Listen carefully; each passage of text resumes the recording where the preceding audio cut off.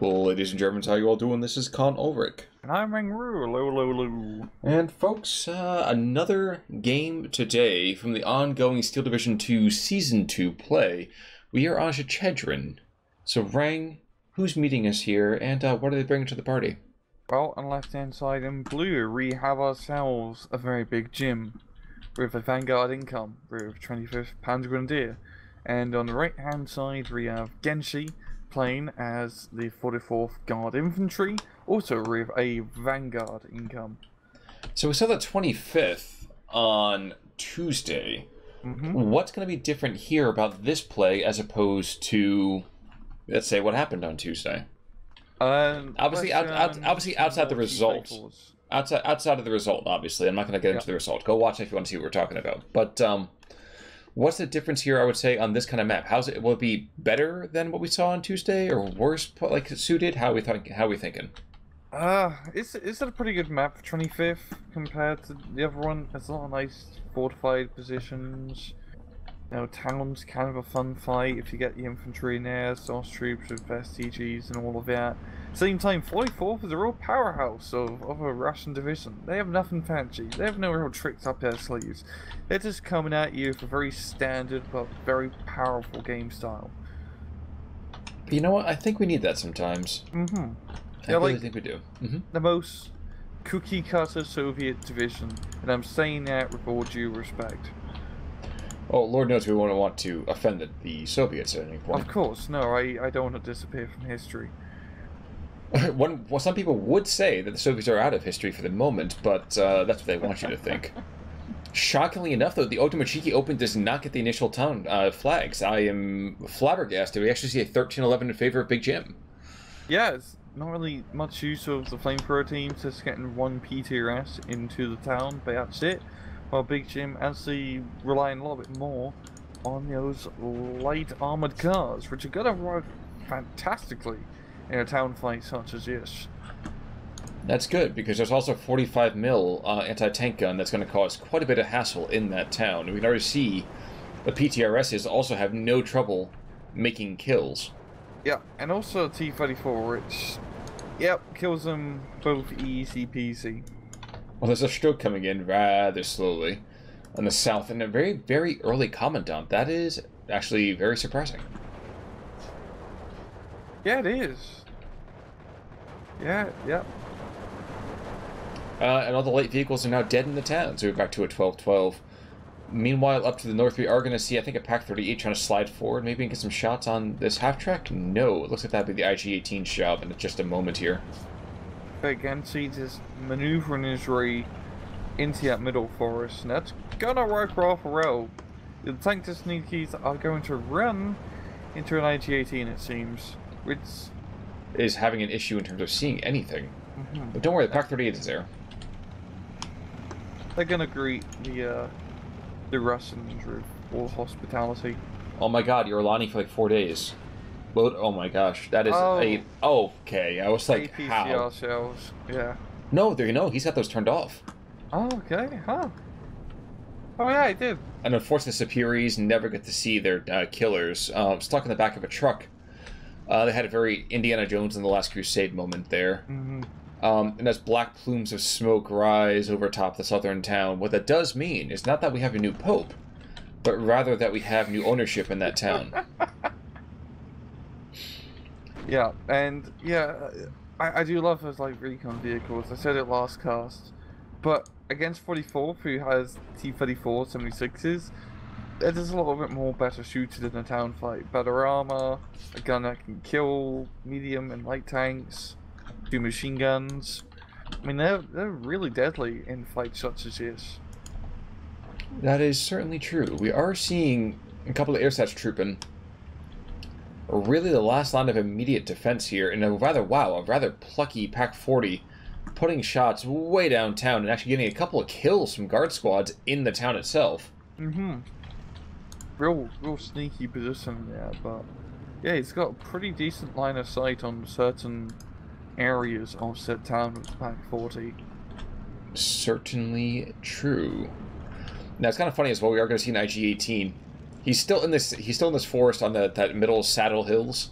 Mm-hmm. So while the oh the crew killed and gun jammed. Wow. oh man, I was waiting for the IG-18 to kind of creep out and fire around into him for like 50 meters. But alas, that's that's not the case. No, but these Tenko Desantniki are going to go and kill that IG-18 pretty damn quickly, I'd imagine. Mm-hmm. Flammenwerfer troops in the meantime being called in from the north, looking to re-secure that forest. Uh, and while there's an, still a 120 mil stovepipe actually engaging the north, um, how are things developing outside of this town? Would you say? I mean, the town obviously very much in Soviet hands. Uh, the Soviets are doing a pretty good job just keeping up the momentum in the middle and north. I mean, they got the northern Trin Hill under their control, and in the middle, the, they're getting onto the other hillside, which is, if you can pretty much secure that hill, I'd say you pretty much run the match in most cases, just because it offers such unparalleled overlook over the rest of the rest of the battlefield. That does seem fairly accurate. Um, there's been this little plucky Pak 38 in the middle, Matthias, uh, that just had a couple of really nice, super duper easy kills. Um, and those Flammenwerfer troops that had been slated to start the counterattack, well, they're not going very much uh, in terms of distance because of that Snipiri that is just, well, doing some really, really solid work. Yeah.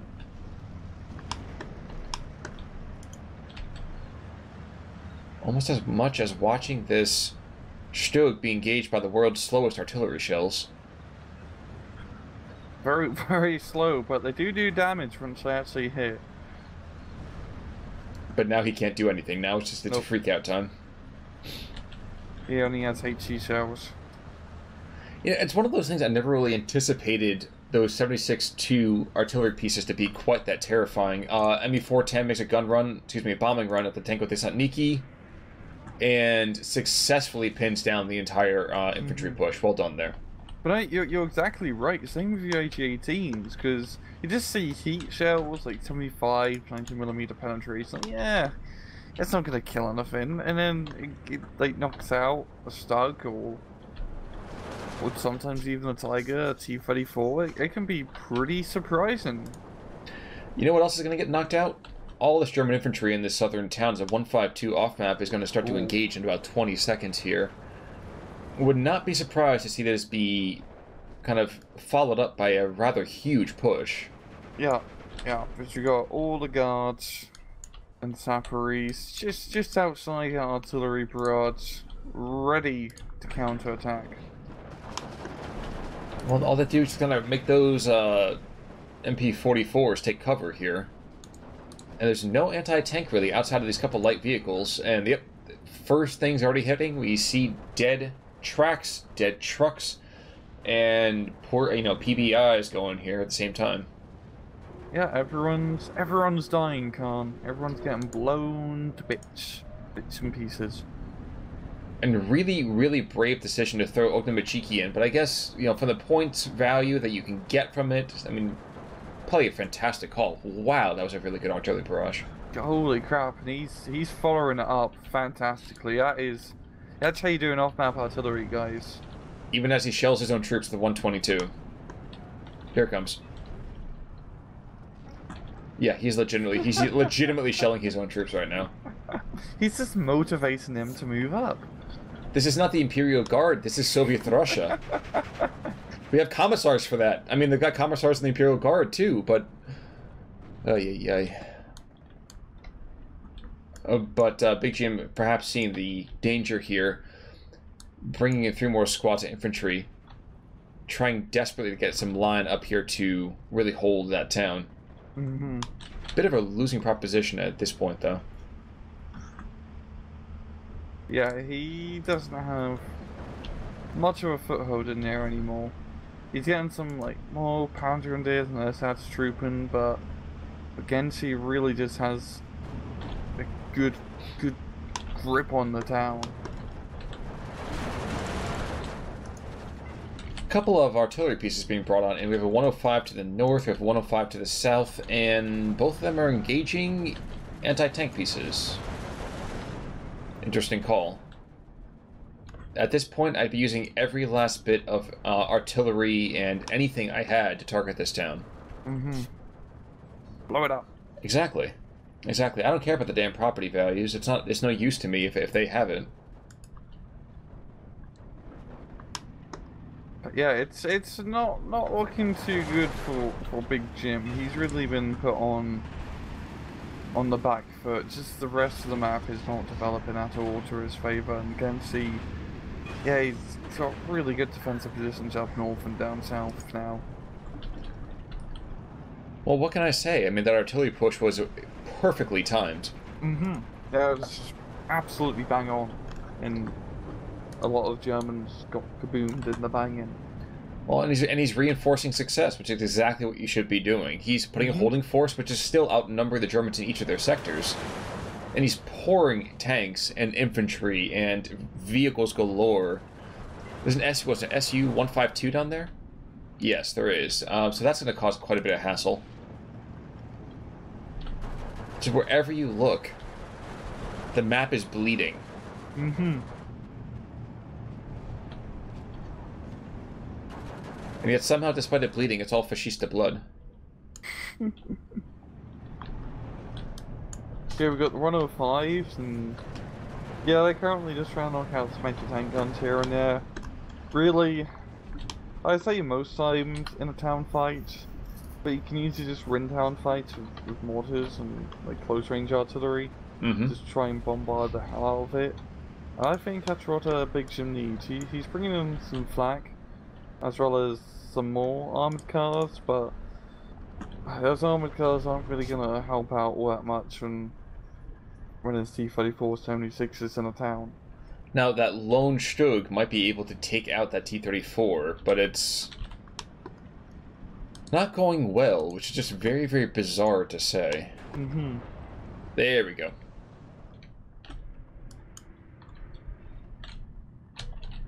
But fear not, we also know what the uh, command and control is. We actually have a TU coming in and saying to the Commandant, I see you, and here comes 500 kilograms of bombs right for your consumption. So we could see a very, very big bit of investment go down here. I say big from a veterancy perspective. No, somehow he manages to survive. close. But now would be a very good time for me to think about relocating your commandant. Mhm. Probably, probably a little bit rest rich. Find find a nice forest to occupy. Yeah, I don't care how many Knights Cross, you know. Oh my gosh, Knights Cross? Yeah, and how many Knights Yeah, Cross Knights you Cross. have. Time off, to go. buddy. Exactly. Oof. And a super tight, almost non existent, actually completely non existent, uh, line of sight here from that T 3476. Taking out one of those bare few anti air pieces being possessed by the German Reich here.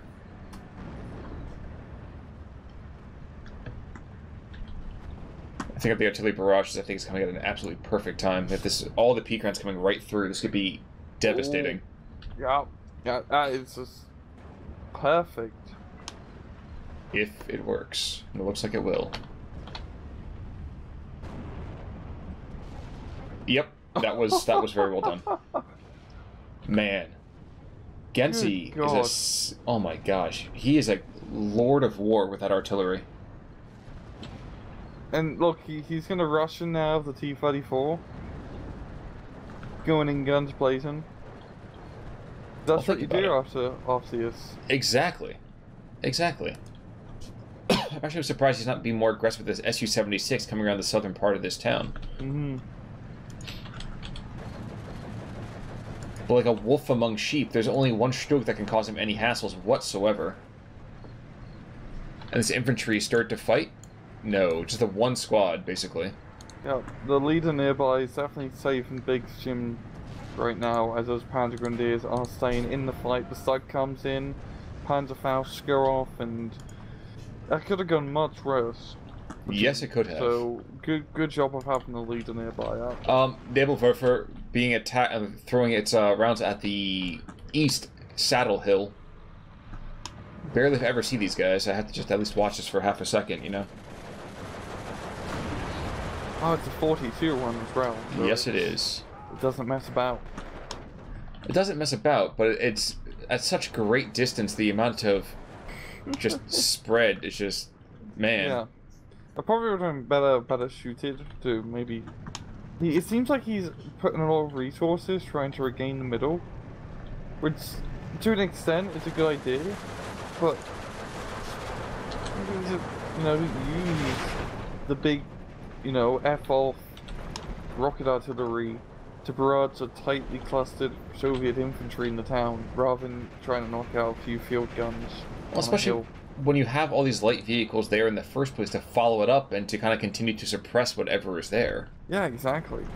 And Gensei's gonna use his last off map, it seems, right on top of the Germans again.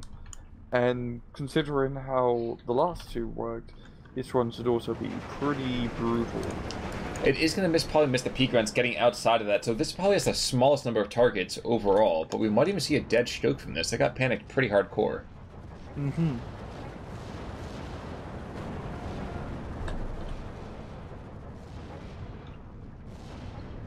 Yep, getting some fallbacks here.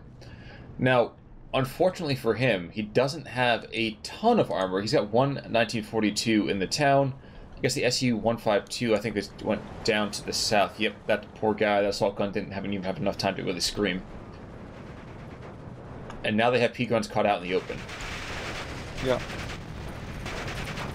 Which is not a good place to be uh, caught, especially when there's a bunch of angry Russians shooting at you. And oh god, the anti-tank rifle on the church just sniping a 2-3 run there. Not, I wasn't even looking at that. I'm seeing all this air air power coming in from the Russians as well. Panicked one, killed another, and there's still some crazy sightlines being happening here. Yeah. Jeez. Jeez, that rocket plane. like perfect hit. The 152 says, I will give my life for the cause, and starts rushing on forwards, I think, the scout a bit. He's gonna go out all chrome and shiny. That's true. Witness me! Trying to run over the Satch troop. you know, I, I, part of me was wondering, I was like, I wonder if that can, can actually happen. Oh, it's like, I kind of wish in that scenario that could happen. Just, just imagine just a jeep coming right at you. It's just something out of Battlefield. Oh yeah, of course. Mm-hmm. Of course, and it has a little bit more, you know, veracity to it than having somebody ride a horse at you and you having the horse kill you and, yeah, whole thing. Um, but more off map. Nothing really being invested just yet. Looks like SU-76 is going to start coming down here instead. Not sure about the particular decision on this one, but uh, that's what he wants to do. Yeah, yeah, and for, for now, actually, Big Jim is making a pretty decent foothold up north, uh, getting just a tad of that northern hill under his control, but not, not for too long, however. Well, be for much longer this Pak 40 goes and takes out this uh, T-34-85. One thing I have been surprised by is a rather meager investment in terms of committed heavier tanks from our friends of the 44th. Yeah, it's not not really been too much. Just some 76s, some SU 76s as well. Just nothing, nothing crazy. I, I think that's really just due to the fact that where he's been fighting, he didn't really need any T-34-85s or anything really that heavy. Just, just the cheap medium tanks and tank destroyers. It's it's working just just well enough. Is this one of those where we're going we don't need roads moments? Pretty much. Okay, just making sure. Oh my gosh, guards engaging the Stug. This is this is one of those cringe moments when okay, yeah, the SU seventy six comes from behind, and absolutely butt munches here. No. And if not him, we still have the IL two coming in with those rockets. Oh, will this flank work? Nah, because the flank got distracted by some infantry. Yeah. Now it will. Especially since the one thing the 25th just is so poor on is the infantry-based AT. For the credit of Fuhrer, throwing out the hero smoke grenade. Oh, awesome. It's the hunt. The hunt is on. Yes, it is. The thing is that the fox will not be kept out of the henhouse. Mm-hmm. And I just realized the commandant's name is Batista. What kind of German are you? It's a very, very Italian or maybe Sp- his, you know, Spanish name. Am I wrong on that one? Yeah, it, it definitely sounds Italian. I'm just, so I'm just watching this SU-76 trying Yeah, to hunt down this Doug. Me too. And the oh my gosh, this Doug's gonna get the first shot.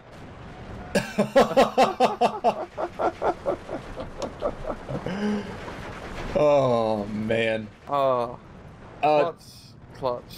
Worth mentioning, uh, the hillside is back in German hands. It's engaging actually an SU-152 from the Stug here, who has lost one of its number. And with all these Sturm pioneers going into this forest, trying to push back these guards. Guards are not going to like the fire and flames there, but, but I, I don't want to count those guys out too quickly. They're actually being quite feisty. Yeah, they're holding out for a while, and now they're not holding out anymore. Well, one's not, but um, the other wow gets hit by bombs. Yeah. So now the push that was is no longer. It was a Southern SU 152. I'm not sure he's. Oh my gosh, we're con- it's going to be between Stug and 152. Holy bejesus. Big Jim sees the destructive power of the SU 152, killing his Stug with a single shot, and he says, You know what, screw it. I'm out. And that'll be a good game. 700 kill difference. field battery. He only has five kills, but that man, that was a king right there. Yeah. Berejin. 45 mil. Yes, sir. Yeah. From the Monster side, the ME 410, decent enough. There was a couple of packs I feel like that were probably quite solid. Oh, okay. Noctigal over here. Was that four kills? A couple of infantry squads? Yeah, that's pretty good stuck play. Certainly true. Other than that, maybe a flat flak 20 mil, and that's about it. Yeah. All in all, though, um, very, very solid replay to kind of finish our coverage this week for the SD2 League. Mm-hmm. Just, just good overall play. Yeah, really from both sides, I think, actually. I think that, unfortunately, Big Jim just didn't know, not know what to do when those artillery shells started coming down from the Yeah. off-map.